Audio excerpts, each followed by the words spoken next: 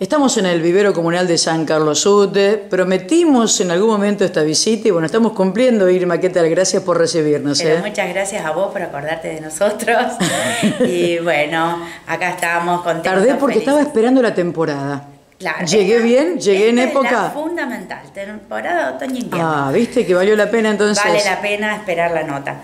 Eh, no, sí, esta para mí es la mejor de todas porque es el fuerte, digamos, de todos los productores, los viveros. Y, y el fuerte porque nosotros podemos en nuestros patios eh, organizarlos, trasplantar, podar, eh, plantar plantas nuevas y sabemos que no vamos a correr el riesgo de que se nos sequen, porque ya las plantas van a empezar en, empiezan en recesión, la savia se va a las raíces, las plantas no sufren. Eh, así que bueno, ya llegó todo lo que es cítricos, todos los frutales de carozo, árboles de todas las de todas variedades. Y es lo más lindo para los plantines porque hay mucha variedad de plantines, Por mucho ejemplo. color. Y viste, ahora ya tenemos la petunia, el pensamiento, la viola, la coqueta, la obelia, el lisum, calendo, la gazaña. O sea, hay muchísimas variedades de formas eh, para media sombra, pleno sol. Es, es cuando más color tenemos, es en otoño. Mucho más que en verano. En verano se nos quema todo con el sol, hay pocas variedades.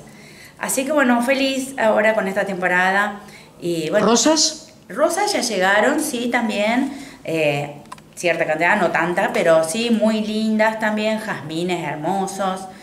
Eh, ahora se me trabó decir. No, la propuesta es esa, ¿no? Estás nombrando todo lo que todo, todo lo que llegó y la propuesta para renovarnos un poco. Claro, sí, aprovechar a poner, por ejemplo, en el campo todo lo que es de sombra para los animales, para cortar el viento, todo lo que es casuerinas, eh, ciprés, lambertianos, por ahí si quieren hacer cercos. O sea, todo lo que ustedes necesiten tienen que aprovechar a comprar, conseguir en esta época.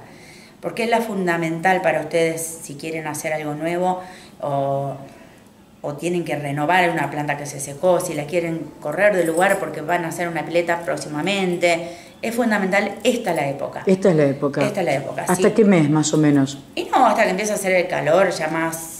O sea, siempre se decía los meses que no tienen Los R. meses que no tienen R. Y para mí es, es medio cierto, hay que pensar y de todos los antepasados, los abuelos creo que son los que más sabían.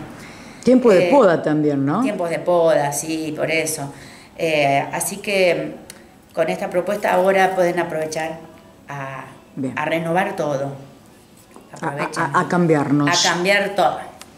Bien. Irma, eh, ¿qué tenés también en semillas? ¿Es tiempo para sembrar? Claro, ahora tenemos todo el tiempo de todo lo que es de hoja, Sí. espectacular. Eh, por ejemplo, acelga, chicoria, la lechuga, bueno, todo lo que es repollo. Y también todo lo que va para abajo, por ejemplo, zanahorias, qué sé yo, nabo, Rabanito. rabanito. No podríamos plantar si no lo vamos a, a poner en un lugar bien protegido, tipo invernadero, lo que es tomate, todo lo que sea que haga flor, tomate, pimiento, zapallito, zapallo. Que la helada te la quema. Eso te quema todo. A ver, si tenemos un invernadero, bueno, bienvenido sea, eh, lo pueden hacer tranquilamente.